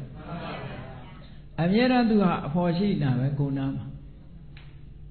အေးသူ့ရဲ့နယ်ကအလွန်ကျဲတယ်ဒါကြောင့်မို့လို့သူဟာ တရားဓမ္မတွေထဲမှာလည်းပဲစီဝင်တယ်ဇံပင်ញင်ရသည့်ထီအောင်အဲ့ဒီနယ်ကြီးကသူ့အောက်မှာရောက်နေတယ်မနေ့ကပြောခဲ့တယ်တွေ့တာမှုကအသွင်ပြောင်းပြီးတော့လိုက်နေတယ်လို့ပြောတာနော်ကာမဂုဏ်အာယုန်ဒီပေါ်မှာတွေ့တာတဲ့တဏှာသည်ကာမဂုဏ်အာယုန်တွေကလွတ်ထွက်သွားပြီးတော့ဇံပင်ញင်တရားတွေကိုကျင့်လို့သူတော်စင်ဘဝရောက်လို့ရှိရင်အသွင်ပြောင်းပြီးတော့သူကလိုက်တယ် ခုနကတော့ကာမဂုဏ်အာယုန်တွေတော့သူဖယ်ရှားလိုက်တယ်သူကအသွင်တစ်မျိုးပြောင်းပြီးတော့လိုက်သွားတယ်ဘာဖြစ်တုံးဆိုဇံအပိဉ္ဉ်ပေါ်မှာတွေ့တာမှုဆိုတဲ့အသွင်ပြောင်းလိုက်တယ်သူကကာမဂုဏ်အာယုန်ပေါ်မှာအသွင်ပြောင်းတဲ့တဏှာဒီဇံအပိဉ္ဉ်ပေါ်မှာအသွင်တွေ့တာမှုဆိုတဲ့တဏှာအသွင်နဲ့လိုက်သွားတာနော်အဲ့ဒါကိုဓမ္မရာဂဓမ္မနန္ဒီလို့ခေါ်တာအဲ့တော့ကမ္မထာအထုတ်လို့နော် တမာရီတွေရနေလို့တဏှာကင်းသွားပြီလို့မအောင်မေးနေနဲ့အဲငါတမာရီလေးကောင်းလိုက်တာနော်ဒီနေ့တရားထုတ်ရတာကောင်းလိုက်တာဟောလိုက်တော့ရပြီသူကတမာရီတွေရလိုက်တာဉာဏ်တွေတက်လိုက်တာလို့ဆိုရင်လိုက်တော့ပြန်ပြီသူကအဲ့ဒီနောက်မှာအသွင်ပြောင်းပြီးတော့လိုက်နေတာဘာနဲ့ဥပမာတူတော့ဆိုရင်ဒီတက်ကသီလဇတ်မှာဘုရားအလောင်းဟာတက္ကသိုလ်ပြည်ကိုသွားပြီးတော့ ဘယင်အဖြစ်ရယူဖို့ကန္တာရခရီးကြီးကိုဖြောက်သွားဖြတ်တန်းသွားလာတဲ့အခါမှာဘလူးတွေအမတန်ပေါ်တဲ့တောစခန်းကြီးကိုဖြတ်တဲ့အခါမှာခေါင်းဆောင်လုပ်တဲ့ဘလူးမကအသွင်ပြောင်းပြီးတော့လိုက်တာနန်းတော်ထီအောင်ပဲအသွင်မျိုးမျိုးပြောင်းပြီးတော့လိုက်တာသို့တော့ဖះလောင်းကတတိကြီးစွာထားပြီးတော့သူ့ကိုအနာကမ္မခံဘယ်လိုရုပ်ပုံလွားတွေပြောင်းပြောင်းသူကအနာကမ္မခံဟောအနာကခံလိုက်တဲ့တက္ကသိုလ်ပြည်တော့ တပတ်လောက်တလားလောက်ကြာတဲ့အခါကျတော့နန်းတော်ကြီးတစ်ခုလုံးဟာအယိုးပဲကျန်တော့တာနော်အဲ့ဒါကြောင့်မယုံလို့ပဲဒီတဏှာလောဘတွေဟာအသွင်ပြောင်းပြီးတော့လိုက်နေတာမျိုးလိုပဲဘုန်းကြီးတို့ရဲ့တဏ္ဍာမှာလိုက်နေတယ်အဲ့ဒါလိုက်နေတာကိုအနာကခံလိုက်မယ်ဆိုလို့ရှိရင်တော့အယိုးတွေပုံသွားအောင်ပါပဲဘယ်လိုအယိုးပုံလို့ဆိုရင် ဒီတဘွားဖြစ်လိုက်သေလိုက်နောက်ဘွားဖြစ်လိုက်သေလိုက်ဆိုတော့ဟောလားအယိုးတွေပုံသွားမှာပေါ့မှန်ပါဗျာဘဝတွေကမလွတ်မြောက်နိုင်ဘူးတဲ့အေးကောင်းပြီဒီလောဘသို့မဟုတ်တဏှာသို့မဟုတ်ရာဂအဲ့ဒီသဘာဝတရားဟာအလွန်နေကျဲစွာစီးဝင်တတ်လို့သူ့ကိုအာတဝသို့မဟုတ်တန်တရားထဲမှာအလွန်ကိုရှိကြစွာဘယ်တော့မှစခဲ့တယ်လို့ပြောလို့မရတော့အနေထိုင်ပြီးတော့အချင်းပေါက်ပြီးတော့ ဘုန်းကြီးတို့တွေရဲ့တဏ္ဍာမှာချင်းပတ်အိုးကြီးလို့အလင်ရပြီးတော့ဖြစ်နေတယ်အဲ့ဒါကြောင့်မို့လို့အာတဝသူဖြစ်လာလို့ရှိရင်စိတ်တွေကိုရစ်မှုသွားအောင်လွှမ်းမိုးထားနိုင်သောကြောင့်အာတဝဆိုတဲ့ဒီအဓိပ္ပာယ်တွေနဲ့အာတဝဆိုတဲ့ဒီလောဘဟာတန်တရားထဲမှာလိုက်ပြီးတော့နှိမ့်ဆက်နေတယ်တဲ့နောက်တစ်ခုကဒီလောဘလေးကိုကြည့်လိုက်အောင်မလားဩဃဆိုတဲ့ ဆွဲပြီးတော့နှိမ့်မြုပ်တတ်တာသို့မဟုတ်တိုင်မျောပြစ်တတ်တဲ့အရှိန်အဟုန်ကြီးမားတဲ့ရေစည်းကြီးလိုပဲ2004ခုနှစ်ကကဘာမှာဖြစ်ပေါ်လာတဲ့ဆူနာမီဒီလိုင်းကြီးတွေလို့ပေါ့မှန်ပါပါဗျာနော်နာဂိမုန်တိုင်းနဲ့အတူပါလာတဲ့ဒီလိုင်းကြီးတွေလို့ပေါ့ရှိသမျှရွာတွေလူတွေကိုအကုန်တိုင်မျောပြီးတော့နှိမ့်မြုပ်ပစ်တယ်ဒီသဘောကိုဩဃလို့ပြောတာနော် အဲ့ဒီထဲမှာပဲလောဘကလည်းပဲအဲ့ဒီတိုင်းပဲသူကနှိမ့်မြုပ်ပစ်တတ်တယ်နှိမ့်မြုပ်ပစ်လိုက်တယ်ဆိုတော့တန်တရားထဲမှာဒုက္ခရောက်ပြီးတော့နေအောင်လုပ်လိုက်တာပေါ့အေးနည်းနည်းလေးကုသိုလ်စိတ်ကလေးနဲ့ပေါ်လာပေါ်လာတာမြုပ်သွားပြန်ရောပြန်ပြီးတော့လူတွေဟာထွက်ပေါက်မရလောက်ဘုရားလောင်းရသေးကြီးလေတရားဓမ္မကျင့်ပြီးတော့ဇန်နေအဘိညာဉ်တွေရ အဘိညာဉ်တွေရတော့နန်းတော်ကိုနေတိုင်းစွန်းစားကြွနန်းတော်မှာစွန်းစားကြွဒီလိုနေရာကနေပြီးတော့တနေ့ကျတော့မမြင်အပ်တဲ့ဝိသဘာကအာယုံပေါ်မှာစိတ်ကူးစိတ်တန်းအာယောနိသောလတိကာရနဲ့ရှုမြင်လိုက်တဲ့အခါမှာစိတ်ထဲမှာခုနကတဏှာဆိုတဲ့လောဘပေါ်လာသည့်အတွက်ကြောင့်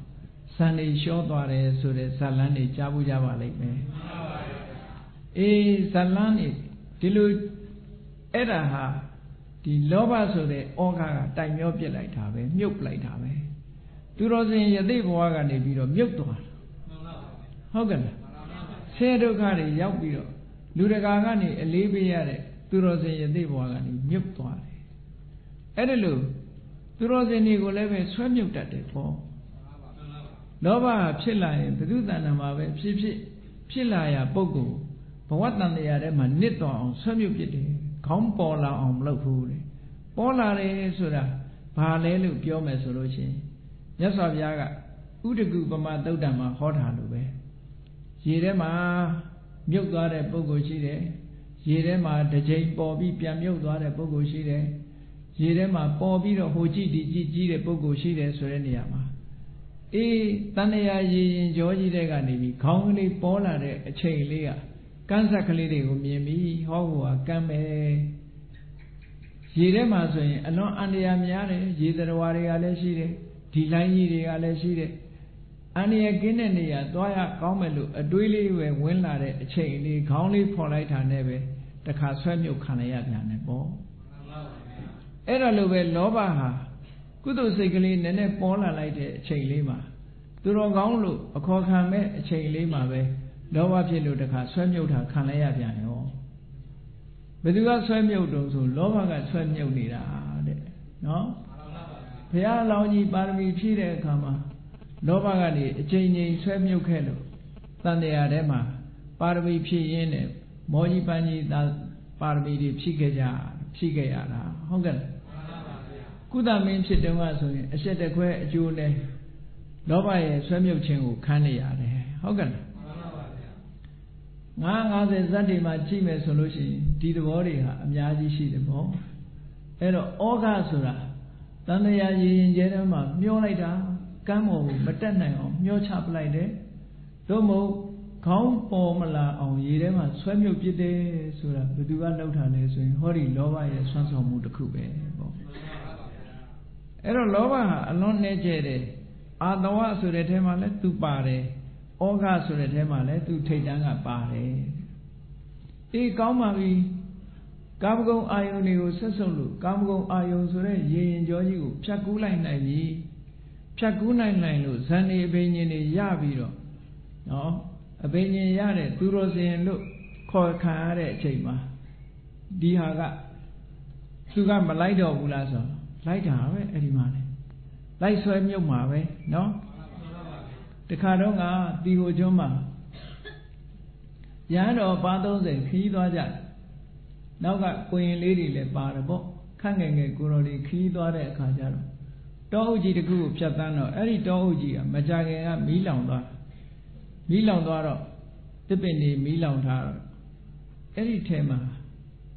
လူတယောက်ဟာမီးသွေးတွေဒီကုလုံးပေးပြီးတော့မီးသွေးကြောက်တွေ ခုနကမီးသိပ်မကျွန်းသေးတဲ့ထင်းကြောက်တွေကိုလိုက်ကောက်ပြီးတော့ထင်းခွေနေတဲ့လူတယောက်ကိုတွေ့တယ်ဒီကုလုံးလည်းမီးသွေးတွေနဲ့ပေးနေတယ်အဲ့ဒီတောတန်းကဖြတ်သွားတဲ့ကိုတော်တွေကတပားတော်ဝါစတယ်ဟိုမှာဟိုမှာကိုရောတကာကြီးမြင်လားကိုရောဦးကြီးမြင်လားနဲ့ဆိုပြီးတော့ပြောင်ကြတာပေါ့နော်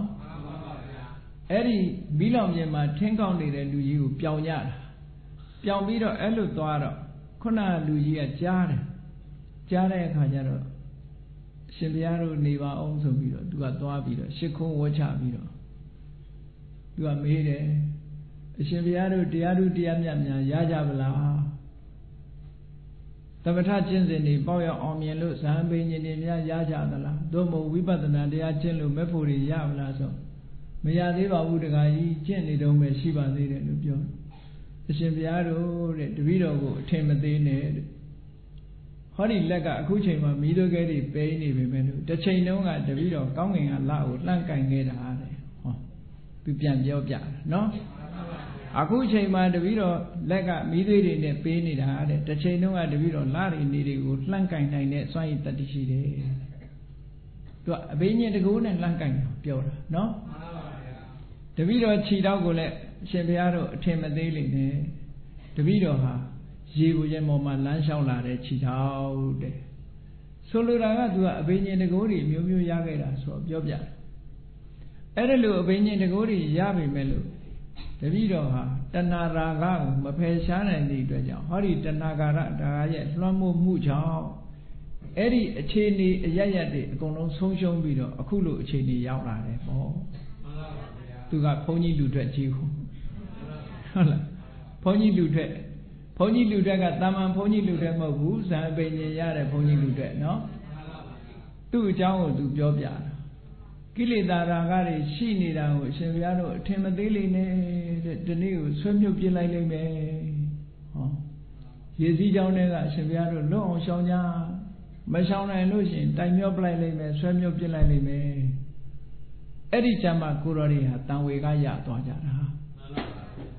ကဲအလုံးသိကြတဲ့ရှင်ဒေဝဒတ်ကိုလည်းကြည့်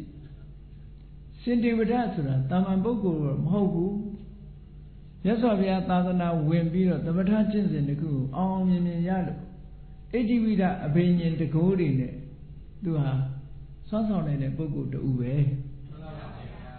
အစတတမင်းကိုသွားစည်းရုံးတဲ့အချိန်တုန်းကသူကသူငယ်လေးအောင်ဖန်ဆင်းပြီးတော့ မွေတွေနဲ့တစားဆင်ထားတဲ့သူငယ်လေးအောင်ဖန်ဆင်းပြီးတော့အစာတတမင်းရဲ့ရင်ခွင်ထဲမှာပွားကနေပေါ်တာ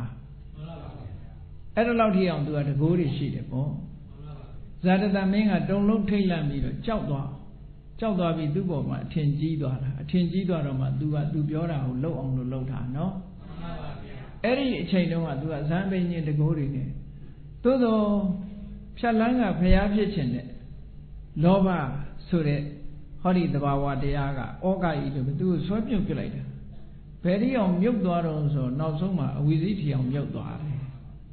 တန်တရားမှာလည်းပဲမြုပ်သွားအောင်မှာပဲဟုတ်ကဲ့လားဒါကြောင့်မို့လို့ဟောဒီလောဘရဲ့ဆွမ်းဆောင်မှုတွေဟာအလွန်ပြင်းထန်တယ်လောကလူတွေပြောကြတယ်မို့လားမိကျွင်းမိကြံမထားနဲ့ဆိုတာမိလေးကမိခဲသေးသေးလေးပဲလောင်စာတွေးလို့ရှိရင်မြို့လုံးကျွရွာလုံးကျွလောင်နိုင်တဲ့စွမ်းရည်တတ္တိရှိတယ်တဲ့ ဒါကြောင့်မို့မိကိုအထင်မသေးရဘူးဆိုတဲ့ထဲမှာအထင်မသေးရတဲ့အရာတွေထဲမှာမိပါတယ်မှန်ပါပါဗျာမွေကလေးပါတယ်ဟုတ်ကဲ့လားအစိတ်ရှိတဲ့မွေတို့မိတို့ဘရင်သားတို့အထင်မသေးနဲ့ယဟန်တန်ကအထင်မသေးနဲ့ဒီလိုငယ်ပေမဲ့လို့အထင်မသေးရတဲ့အရာ၄မျိုးဆိုပြီးမြတ်စွာဘုရားဟောထားတာရှိတယ်နော်မွေလေးကလည်းပဲမပွေးလေးကအဲအကောင်ငယ်ငယ်လေးပဲ ဒီမကိုက်နိုင်ပါဘူးအစိတ်မရှိပါဘူးဆိုပြီးတော့တွားပြီးတော့မကစားလေနဲ့သူကိုက်လို့ရှင်သေသွားမယ်တဲ့မိကလေးဟာလည်းမပြောပါတော့ပါဘူးမိမုံမိမွားလေးပဲဆိုပြီးတော့မိဖို့ထဲမှာပြစ်မထားနဲ့လောင်စာတွေးလို့ရှိရင်မြို့လုံးကျွရွာလုံးကျွလောင်သွားနိုင်တယ်ဟောနောက်ဘရင်ရဲ့သားကိုလည်းပဲသွားပြီးတော့ဟိုကောင်းကလေးငယ်တယ်ဆိုပြီးတော့သွားမစားလိမ့်နဲ့အာနာရလာတဲ့အခါဒုက္ခပေးနိုင်တယ်ဟုတ်ကဲ့လား ယဟန်တန်ဃာကိုလည်းပဲငယ်တယ်ဆိုပြီးတော့အထင်သေးပြီးတော့သွားပြီးတော့မယုံမသိမလုံးလေနဲ့တဲ့ယဟန္တာဖြစ်လို့ရှိရင်ဒုက္ခရောက်သွားနိုင်တယ်ပေါ့အေးအဲ့ဒါလို့မြတ်စွာဘုရားကဟောတာလားရှိတယ်ဒါကြောင့်မို့လို့အခုအဲ့ဒီ၄မျိုးထဲမှာဘာပြောရမလို့ဆိုလို့ရှိရင်လောဘကိုလည်းပဲသေးသေးလေးဆိုပြီးတော့အထင်မသေးလေးနဲ့ပေါ့ သူကလည်းပဲကြီးထွားလာတဲ့အခါမှာဒုက္ခပေးနိုင်တယ်ဩဃဆိုတာလွှမ်းမိုးနိုင်တယ်ဆွဲမြုပ်နိုင်တယ်ဆိုတဲ့အတိတ်ပဲလောဘမှာရှိတယ်တဲ့နောက်ဒါရင်လားလို့ဆိုတော့လောဘဟာတတ္တဝါတွေကိုဘဝတစ်ခုနဲ့ဘဝတစ်ခုစင်စစ်မပြတ်အောင်ဆက်ဆက်ချီနှောင်ပေးထားတဲ့သဘောလည်းရှိတယ်ဒါကြောင့်မို့သူ့ကိုယောဂလို့လည်းခေါ်တယ် ကံတရားနဲ့အကျိုးတရားလွတ်ထွက်မသွားအောင်ချီနှောင်ပေးတတ်တဲ့သဘောဟာလည်းလောဘမှာရှိတယ်တဲ့နော်ဒါကြောင့်မို့လို့ပောနုဘဝိကာဆိုတာဒီယောဂရဲ့သဘောလေးပဲဘဝနဲ့သူကဆက်ဆက်ပေးနေတာအမြဲတမ်းအေးတဘောကတည်သွားတာနဲ့နောက်တစ်ဘဝတစ်ခုရောက်တယ်ဆိုတာဘသူကြောင့်ရောက်နေတာတုံးလို့ဆိုရင်လက်သက်ရှာလိုက်လို့ရှိရင်နော်အလုံးစွမ်းဆောင်မှုပေးတဲ့ထဲမှာ အဝိဇ္ဇာပါတယ်ကံပါတယ်တဏှာပါတယ်ဒီသုံးခုကိုပြောတာနော်အဝိဇ္ဇာကသူ့လုပ်ငန်းကဘာလဲလို့ဆိုရင်အဝိဇ္ဇာကစိတ်ထဲမှာပေါ်လာတဲ့အာယုတစ်ခုရဲ့အပြစ်ကိုမမြင်အောင်ဖုံးပေးလိုက်တယ်အသွင်ပြောင်းပြစ်လိုက်တယ်အဝိဇ္ဇာကဟိုကမကောင်းတာရောကောင်းတယ်ဒုက္ခကိုဒုက္ခလို့ထင်အောင်အသွင်ပြောင်းပေးတယ်ဖုံးကွယ်တယ်ဆိုတာမမြင်အောင်လုပ်တာမဟုတ်ဘူးအမှန်ကိုမမြင်အောင်လုပ်တာအမှားတော့မြင်တယ် နော်အမှားကိုတော့မြင်ရတယ်ဒါကြောင့်အဝိဇ္ဇာကအသွင်ပြောင်းပေးတာအမှန်တရားကိုဖုံးကွယ်လိုက်ပြီးတော့အသွင်ပြောင်းပေးလိုက်တဲ့အခါကျဒုက္ခကိုဒုက္ခလို့ထင်သွားတယ်ထင်သွားတဲ့အခါဘယ်သူဝင်လာတော့ဆိုခုနပြောတဲ့တဏှာဝင်လာတာပဲတဏှာဝင်လာတဲ့အခါကံကအကွက်ချောင်းနေတော့ကံတဏှာကလိုချင်ပြီဆိုတဲ့အခါမှာကံကနေပြီးတော့တွန်းပို့ပေးလိုက်တာတဲ့ ဘုန်းကြီးတို့တွေဘဝရာတိုင်းရာတိုင်းဟာအဝိဇ္ဇာရဲ့တဏှာရဲ့ကံရဲ့ဒီသုံးခုရဲ့စွမ်းဆောင်ချက်ပဲအဲ့ဒီထက်မဲ့လိုချင်မှုကပိုပြီးတော့အဓိကကြဒါကြောင့်မို့လို့လိုချင်မှုရှိတဲ့ပုံမှာလိုချင်တာကကောင်းတာလိုချင်ကံကကောင်းတာပို့ပေးမှာပေါ့အေးလိုချင်မှုကမကောင်းတာကိုလိုချင်သည့်အတွက်ကြောင့်မကောင်းတဲ့ဘုံဘဝတွေလည်းရောက်ကြတာအဲ့တော့တဏှာရဲ့စွမ်းဆောင်ချက်ကပိုးပြီးတော့ထင်ရှားတယ်အာသာတယ် ဒါကြောင့်မလို့တဏှာဟာဘဝတစ်ခုနဲ့ဘဝတစ်ခုရှင်တွဲထားတဲ့ယောဂလို့လည်းသူ့ကိုပြောလို့ရတယ်ပေါ့အေးနောက်တစ်ခုဒီလောဘတို့တဏှာတို့ရာဂဆိုတဲ့သဘာဝတရားဟာအာယုန်နဲ့စိတ်နဲ့ချီနှောင်ထားတဲ့အခါမှာလွယ်လွယ်ကူကူဖြေလို့မရအောင်အထုံးတွေကိုจิตနေအောင်ထုံးထားတတ်တဲ့သဘောရှိတယ်ပေါ့အဖြေခက်လောက်အောင်ထုံးထားလို့ဒီလောဘကို အဘိဓါကာယခန္ဓာလို့ရသော်ဘုရားကခန္ဓာထဲမှာဟောထားတာရှိတယ်နော်ခုနတော့အာသဝအနေနဲ့ကာမသဝဘဝသဝလို့ဟောတယ်ဩဃအနေနဲ့ကာမောကဘဝကလို့ဟောတယ်ဟောဒီတဏှာလေးကိုပဲယောဂအနေနဲ့ကာမယောဂဘဝယောဂလို့ဟောထားတယ်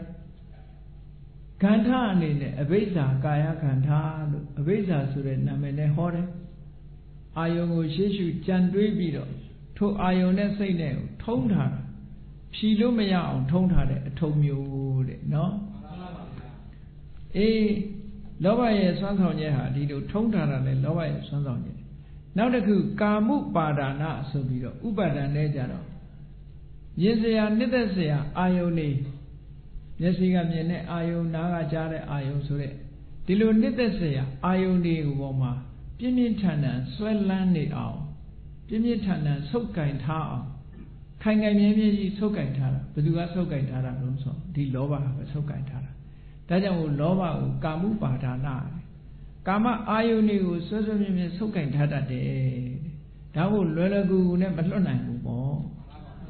ကာမဂုဏ်အာယုန်တွေကိုဖယ်ရှားတယ်ဆိုတာလွယ်တဲ့ကိစ္စမဟုတ်ဘူးเนาะအေးဒါကြောင့်မို့လို့ဥပါဒံဆိုတဲ့ထဲမှာလည်းပဲဟောဒီလောဘပါနေပြန်တာပဲ နောက်တစ်ခုនិဝရဏကြည့်အောင်မလားအေးသူကပြင်းပြင်းထန်ထန်ဆုပ်ကင်ထားရုံများမကဘူးကုသိုလ်စိတ်တွေမဖြစ်အောင်ဆုပ်ဆုပ်ပိတ်တတ်တယ်ဆိုတဲ့និဝရဏထဲမှာလည်းသူပါတာပဲကာမဂုဏ်အာယုန်ဒီပေါ်မှာလိုလားတဲ့ဒီတဏှာရာကသူကကာမိသန္ဓဆိုတဲ့နာမည်နဲ့အဲ့ဒီမှာတော့ဟောတယ်နော်ကာမိသန္ဓနိတ္တဆရာကာမဂုဏ်အာယုန်ဒီကိုလိုလားတဲ့ဒီတဏှာရာကဒီ ကုသိုလ်စိတ်တွေပေါ်မလာအောင်ပညာတွေအားနည်းသွားအောင်ဆုတ်ပိတ်ထားလို့သူကនិဝရဏဟောလောဘဟာကာမိသန္ဓအနေနဲ့និဝရဏဆိုတဲ့အဲမှာလည်းပဲသူပါပြန်တယ်ပေါ့နောက်တစ်ခုအနုတယဆိုတဲ့အဲမှာလည်းပဲကာမရာဂနုတယတဲ့ဘဝရာဂနုတယတဲ့ဩကာမဂုဏ်အာယုန်တွေနဲ့ပတ်သက်လာလို့ရှိရင်လည်းပဲသူက positive ဖြစ်နေတယ် အဲကာမဂုဏ်အာယုန်တွေကိုကြော်လွှားနိုင်လို့ဇံပင်ကြီးတွေရလို့ဇံပုံဗြမပုံတွေရောက်တဲ့အခါမှာလည်းပဲသူက positive ဖြစ်နေပြန်တာပဲအဲ့ဒါကြောင့်မို့လို့ကာမရာဂနုတယဘဝရာဂနုတယအဲ့ဒီမှာလည်းပဲသူကလိုက်ပြီးတော့လွှမ်းမိုးကြီးစိုးနေပြန်တာပဲပေါ့နော်အခြေအနေတရားရကိုသူကဖန်တီးပေးတာအကြောင်းပေါ်လာတာနဲ့တပြိုင်နက်ဒီဒီဓာတ်ကကိလေသာ ဒီလောဘဆိုတာပေါ်ထွက်လာပေါ်ထွက်လာပြန်တာဒီဒါကြောင့်မလို့အနုတ္တယဆိုတဲ့အဲမှာလဲသူပါပြန်တာပဲတခါတန်ရောစဉ်နဲ့ကြည်အောင်မလားကာမရာဂတန်ရောစဉ်တဲ့ရူပရာဂတန်ရောစဉ်တဲ့အရူပရာဂတန်ရောစဉ်တဲ့သို့မဟုတ်ကာမရာဂတန်ရောစဉ်ဘဝရာဂတန်ရောစဉ်တဲ့ဟောတန်ရောစဉ်ထဲမှာဆိုလို့ရှိရင်လေသူပါပြန်တာပဲကာမဂုဏ်အာယုန်နေနဲ့ပတ်သက်လာသို့မဟုတ် ကာမဘုံတွေနဲ့ပတ်သက်လာလို့ရှင်လည်းပဲကာမဘုံတွေကလွတ်အောင်မရှောင်နိုင်အောင်သူကကြိုးနဲ့ခြိခြိထားပြန်တာတခါမြမပြေကြတော့လေဘဝရာကတန်ရောစဉ်နဲ့သူကခြီထားကြတာပဲဘယ်နေရာဖြစ်ဖြစ်သူကလိုက်ခြီနေတယ်နော်ခြီနေသည့်အတွက်ကြောင့်တန်ရောစဉ်ဆိုတာရုံထွက်လို့မရဘူးတဲ့ရုံထွက်လို့မရဘူးဆိုတာကိုယ့်အကိုစဉ်းစားကြည့်ပေါ့တန်ရောစဉ်ရဲ့အခြေခံထားရတဲ့ထဲပဲနော်တန်ရောစဉ်အခြေခံထားတာကိုယ့်ကိုချိန်မှန်းလည်းမသိဘူး ဘယ်နိုင်ငံညာတိုင်းပြည်တွေလည်းသွားကိစ္စမရှိဘူးသွားလို့ရတယ်နော်အဝေးကြီးသွားဟုတ်အမေရိကသွားမလားသွားအင်္ဂလန်သွားဥရောပသွားဘယ်သွားသွားဒီကျိုးကတော့သူသွားတဲ့နောက်မှာကျိုးကတော့တန်းလန်းနေပဲအချိန်တန်တော့ဒီမိသားစုစီပြန်ပြန်လာဟုတ်ကဲ့လားခြိထားမှလည်းမသိဘူးသူခြိထားမှလည်းမသိဘူးသို့တော့ခြိထားတာဘယ်သွားသွားသူဒီပြန်ရောက်လာတာပဲ ပြန်ရောက်လာတယ်ဆိုကြတဲ့ကကျိုးရှိရှိနဲ့ခြိထားတဲ့သဘောပေါ့ယုံလို့တော့ရရလားမရဘူးတဲ့တန်ရောစဉ်ရှိရပြန်ရောက်လာပြန်တာပဲဒါဖြင့်တန်ရောစဉ်ဆိုတာဘာပြောတာတုံးလူတွေကပြောကြတယ်သားတန်ရောစဉ်သမီးတန်ရောစဉ်ပစ္စည်းတန်ရောစဉ်လို့ပြောကြတယ်သားသမီးတို့ပစ္စည်းတို့ကတန်ရောစဉ်လားလို့ဆိုတော့မဟုတ်ဘူးသားသမီးပေါ်မှာတွေ့တာတဲ့တဏှာဟုတ်ကဲ့လား သားသမီးကိုဖြတ်ရမှာမဟုတ်ဘူးတွေ့တာတဲ့တဏှာကိုဖြတ်ပစ္စည်းကိုလွတ်ပစ္စည်းကိုစွန့်ပြရမှာမဟုတ်ဘူးပစ္စည်းပေါ်မှာတွေ့တာတဲ့တဏှာကိုကိုကိုတွေ့တာတဲ့တဏှာကိုကိုကိုဖယ်ရှားပြရမှာမဟုတ်ဘူးကိုကိုကိုတွေ့တာနေတဲ့တဏှာကိုဖယ်ရှားပြရမှာရှင်သာရိပုတ္တရာကတန်ရောစဉ်အကြောင်းကိုရှင်းအောင်ဟောပြထားတာရှိတယ်နှဖြူကြီးနဲ့နက်နက်ကြီးအဲ့ဒီနှစ်ကောင်ကိုတွဲချီထားတဲ့အခါမှာတဲ့ နှဖြူကြီးကနှဖြူကြီးရဲ့တန်ရောစဉ်ကနက်နက်ကြီးမဟုတ်ဘူးတဲ့နက်နက်ကြီးရဲ့တန်ရောစဉ်ကလည်းနှဖြူကြီးမဟုတ်ဘူးတဲ့အဲ့ဒီနှစ်ကောင်ကိုတွဲချီထားတဲ့ကျိုးကသာတန်ရောစဉ်အဲ့ဒီသဘောကိုပြောတာနော်ထို့တူပဲသားကတန်ရောစဉ်မဟုတ်ဘူးသမီးကတန်ရောစဉ်မဟုတ်ဘူးပစ္စည်းကတန်ရောစဉ်မဟုတ်ဘူးသားပေါ်သမီးပေါ်ပစ္စည်းပေါ်မှာတွေ့တာတဲ့တဏှာလေးကတန်ရောစဉ် အဲ့ဒါဖြတ်လိုက်လို့ရှိရင်သားနဲ့လည်းအတူနေလို့ရတာပဲသမီးနဲ့လည်းအတူနေလို့ရတာပဲတန်ရောစဉ်မရှိဘူးဟုတ်ကဲ့လားမြတ်စွာဘုရားဟာနော်ဘုရားပြည့်သို့ရောက်သွားတဲ့အခါမှာသားတော်ရာဟုလာလေးကိုသင်္ကန်းဝတ်ပေးတာပဲသားဆိုတဲ့တန်ရောစဉ်နဲ့မဟုတ်ဘူးဟောဒီကလေးတန်တရားဟုတ်ကလွတ်ပါစေဆိုတဲ့ဟာနဲ့စောင့်ရှောက်တာဟုတ်ကဲ့လားတရားဓမ္မတရားမှန်ပြတာအေး တန်ရောစဉ်မဟုတ်ပေမဲ့လို့လေတူတူနေလို့ရတာပဲ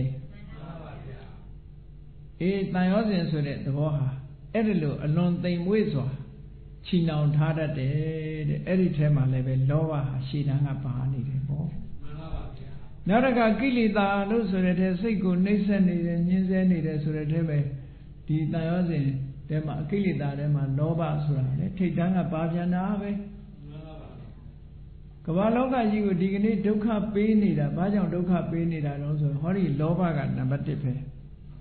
နော်စီးပွားရေးနဲ့ပတ်သက်ပြီးတော့ကြီးပွားခြင်းကြတဲ့လောဘအဲ့ဒီလောဘပေါ်မှာဒေါသနောက်ကလိုက်လာတာတဦးနဲ့တဦးရှင်ပြိုင်ကြတယ်ကုမ္ပဏီကြီးတွေထောင်ကြတယ်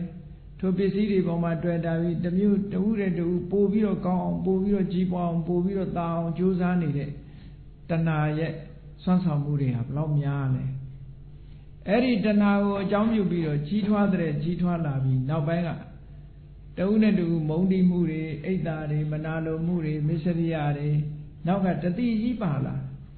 တတိကြီးပါလာလို့ကဘာကြီးဟာဘယ်တော့မှငြိမ်းချမ်းမှုမရှိဘူးစီးပွားရေးကပ်ပြက်သွားတယ်ဆိုတာလေလောဘတွေကြီးလွန်အားကြီးပြီးတော့ဖြစ်သွားတာနော်အေးဒါကြောင့်မို့လို့ကိလေသာနှိမ့်ဆက်နေတဲ့အထဲမှာလည်းပဲသူကထိတ်တန်းကပါနေတယ်တဲ့။ ဩကြည့်လိုက်မယ်ဆိုလို့ရှိရင်လောဘဆိုတာလေးတစ်ခုကိုကပဲအာတဝဆိုတာလည်းသူပဲဩဃဆိုတဲ့ထဲမှာလည်းသူပါတာပဲယောဂဆိုတဲ့ထဲမှာလည်းသူပါတယ်ခန္ဓာဆိုတဲ့ထဲမှာလည်းသူပါတယ်ဥပါဒဏ်နဲ့လည်းသူပါတယ်နိဝရဏလည်းလည်းပါတယ်အနုတယလည်းပါတယ်တန်ရောစင်နဲ့လည်းပါတယ်ကိလေသာလည်းလည်းပါတယ်ဆိုဟောနေရတကပါတယ်ပေါ့ ဒါကြောင့်မို့မြတ်စွာဘုရားကသူ့ကိုထိတ်တန်းထားပြီးဒီဒုက္ခလေးဟာဒီဒီတဏှာဟာဒုက္ခသမှုရိယဒုက္ခမှန်သမျှသူဖန်တီးနေတာလို့ဆိုပြီးတော့ဟောတာနော်အေးဒါကြောင့်မို့လို့တရားချက်ခင်သူတော်စင်ပြိဿအပေါင်းတို့ဒီဒီကနေ့အကုသိုလ်အုပ်စုတွေကလောဘရဲ့ဆွမ်းဆောင်မှုတွေကိုအတော်အသင့်သိကြရပြီဒါကြောင့်မို့ဒီလောဘရဲ့စွမ်းဆောင်မှုတွေကိုဖယ်ရှားပစ်ခြင်းတခုတည်းသောနိလန်းကတော့ မက်ခင်၈ပါးကိုထူထောင်ကြရမှာဖြစ်တယ်မက်ခင်၈ပါးနဲ့သာလေဒီဒေါသလောဘရဲ့ယံကနေပြီးတော့လွတ်အောင်လုပ်နိုင်တဲ့လောဘကိုဖယ်ရှားပစ်နိုင်တာဖြစ်လို့မက်ခင်၈ပါးကိုထူထောင်ခြင်းဖြင့်ဘုန်းကြီးတို့တွေလောဘရဲ့စွမ်းဆောင်မှုတွေကိုအားပြော့သေးသိမ်သွားအောင်နောက်ဆုံးလောဘကိုလုံးဝမိမိတို့တဏ္ဍာမဖယ်ရှားနိုင်အောင်ကြိုးစားအားထုတ်နိုင်ကြပါစေကုန်တည်း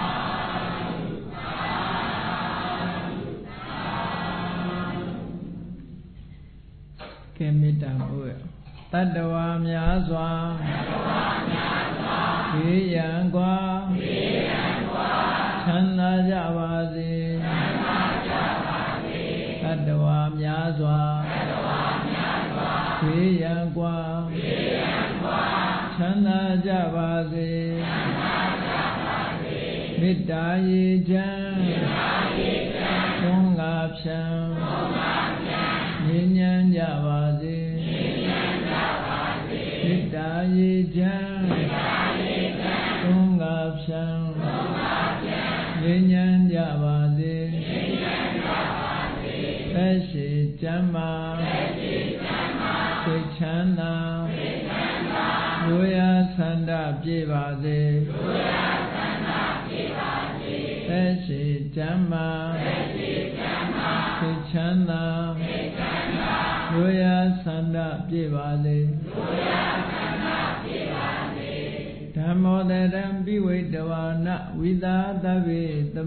တံအစရာမရာတိတိဘာဝံနိဗ္ဗာနံယန္တုသာရောဓမ္မောတရံလောဘဒေါသမောဟစိတ်တောင်းကင်းပြောက်ကြည်တရားစေကိုပိဝိတဝါဝန္တာရှင်ပြတောက်ကြရနာကြရကုန်သောကြောင့်ဝိသတာဝေပူဇာညနှောင်ကိလေသာဆယတောဟုသမျှတို့သည်သမုဝတ္တပိဉ္ကြဘဲတွင်ရေမတင်တကဲ့သို့ကင်စင်လွင်ပြောင်းပေမရောက်အောင်ပယ်ဖြောင်းအကုန်သည် ဟောတုစင်စစ်မသွေဖြစ်ကြပါစေကုန်သတည်းအသရမရံအိုခြင်းလဲကွာနာခြင်းလဲကင်သေးခြင်းလဲရှင်းထသောတိတိဝဝကိလေသာဟုပုခသိင်ကင်းခြင်းရာစစ်ဖြစ်ပေထသောနိဗ္ဗာန်နိဗ္ဗာန်ဟုခေါ်အေးမြူတော်သို့သာရောတရားရှိခင်စိတ်ကောင်းဝိညာသူတော်စင်များတို့သည်ယန္တုပါရမီအစဉ်စဉ်မြင့်လည်းမြင်၍ မလက်မုံသေးဆက်ရောက်တော်မူကြပါစေကုန်တည်း